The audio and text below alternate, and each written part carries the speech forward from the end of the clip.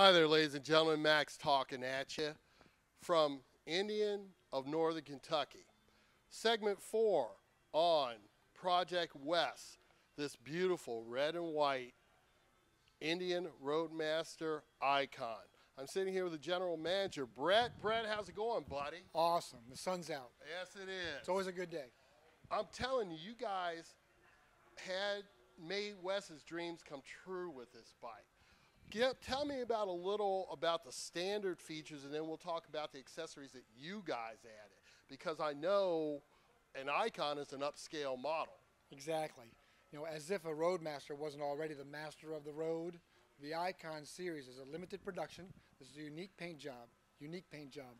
Um, you'll see very limited production in this in this paint scheme, but the the things that you would think would be extra are actually stock on most Roadmasters. He got things like heated seat front and rear. He got the luggage rack. He got the chrome controls, the big diameter bars with internal wiring.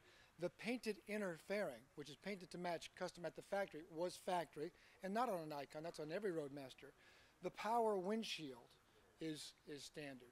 The, the best and brightest touchscreen navigation and information system is standard. So he started with a phenomenal bike, top of the line, and then went one more, and then he made it for uh, easy for us because when he told us he was retiring and it was his gift to himself, we knew where this was going to go.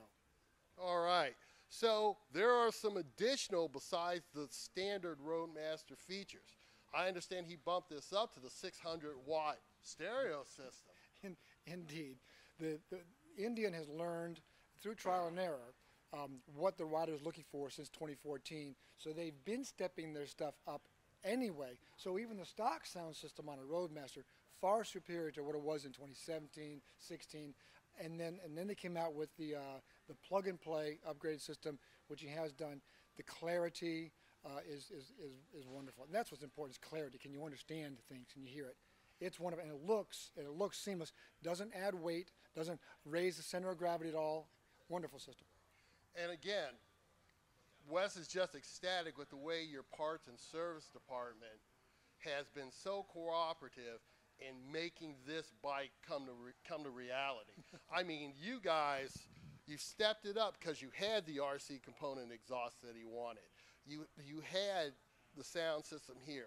We were able to get the Klock Werks windshield, and you guys installed it lickety split. I mean, it's a total rounded experience when you come to Indian of Northern Kentucky. Here's what's different. I'm glad you mentioned it. Now, I'm glad you feel it. I know Wes does too. We embrace that.